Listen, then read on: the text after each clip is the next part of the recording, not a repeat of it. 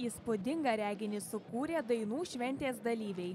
Jie eidami į Vingio parką, kur vyks dainų šventę vainikuojantis koncertas Vienybėte žydį, sostinės gatvėmis žygiavo šokdami ir dainuodami. Mes bus ir legenda,